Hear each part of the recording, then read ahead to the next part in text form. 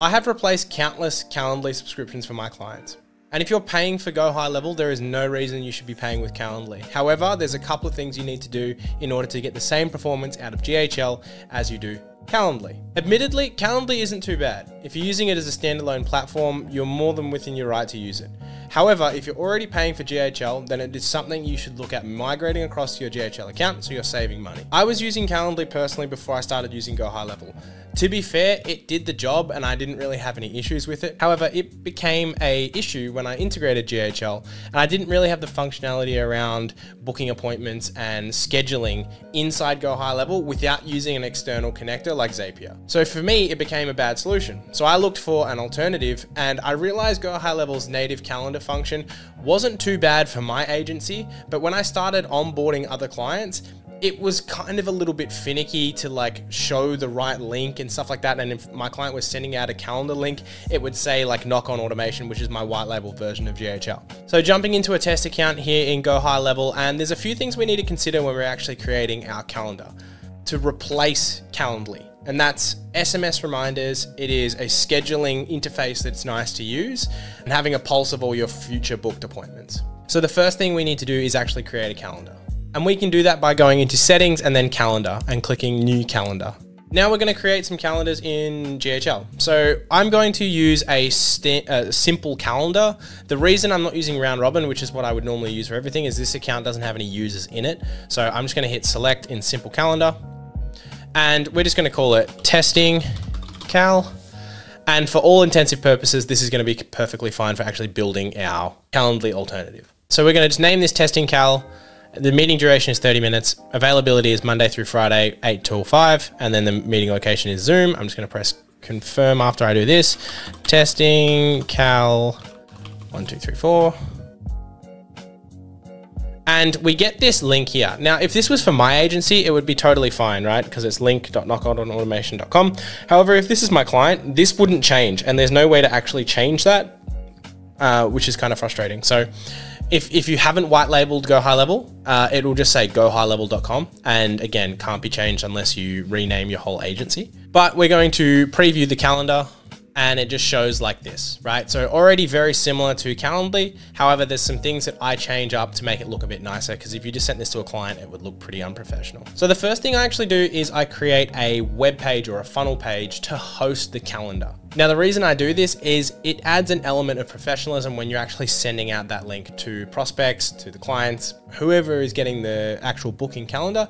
It looks a lot better if it's got their logo. So I'm going to set that up really quickly and I'll show you what it looks like. So this is the really simple template that I use. I use the logo at the top and the calendar. So if I select this calendar here and select testing calendar, it's going to come up. And then if I put a image in here, and let's see if this account has any images on it, which it doesn't.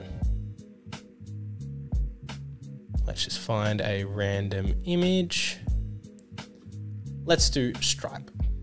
So if this was a Stripe booking calendar, which is an interesting thing to do, uh, I would make this a bit smaller, so probably about 300. And I would add in a small subheading that says, find a time that suits below. And then we're going to save that and we're just going to view it really quick.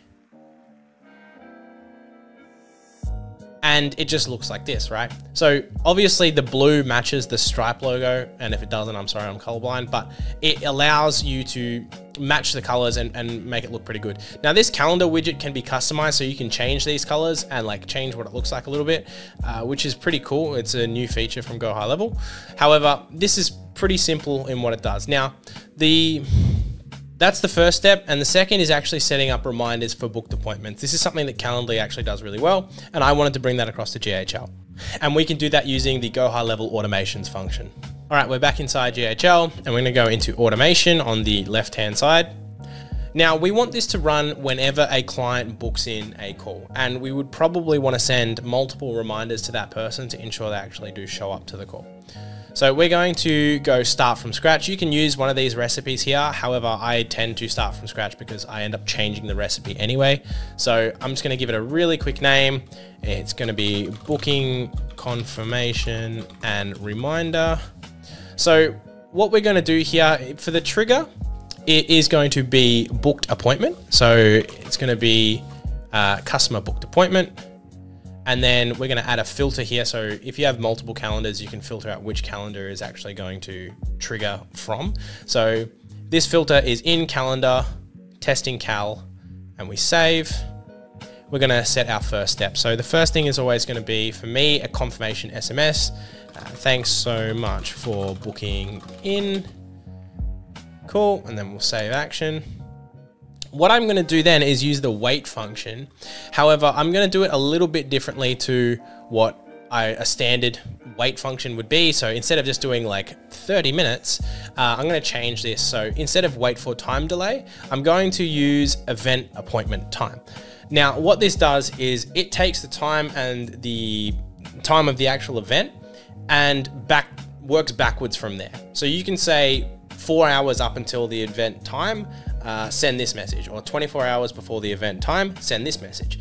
Uh, and the benefit of this is if that time has already passed. Say, for example, you have a sequence that it has a 24 hour reminder, an 8 hour reminder, and a 1 hour reminder, but the person has booked in two hours before their scheduled time. It will skip the previous two and just send anything between um, now and the booking time and when they actually book. So, that example, there's only one, so there's one reminder that's sent.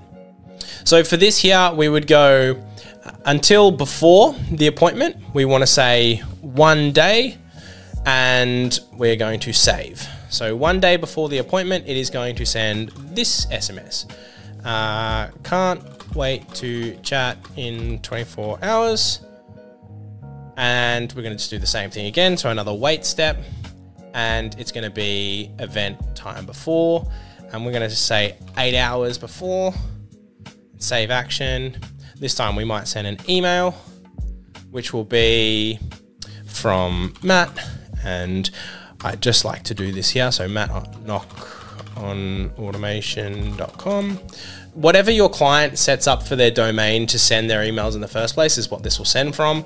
Um, if you don't have a dedicated sender, I'm pretty sure it will send from gohighlevel.com um, or your white labeled uh, version. So subject is going to be test, testing, and then type a message. Can't wait to chat here is the Zoom link. Now, if we'd done this via a round robin like I was going to and didn't, then we would be able to go into custom values here, which allows us to use universal placeholders and then go appointment and then go meeting location and that will actually populate the Zoom link, right? So this will send and we'll save that action and sends the Zoom link and then that's pretty much good to go. We'll save that and now whenever this runs, whenever this triggers, this automation will run by default um, if we hit publish. So that's published and now it'll, anytime someone books in, they will get an SMS and a email and another SMS before the actual appointment. Now, I guess the final step of this is making sure that it's on a custom domain. Now, the reason that you would do this is, is just another level of professionalism. If your client, uh, Mount Franklin Water.com, has a calendar that is mountfranklinwater.com forward slash book a call. It's a lot more professional than that simple lead connector link that's given. So inside of Go High Level, you would go into domains and then type in your client's domain. Com. You would add that in and make sure you uh, successfully do this before you try and attach the calendar to it.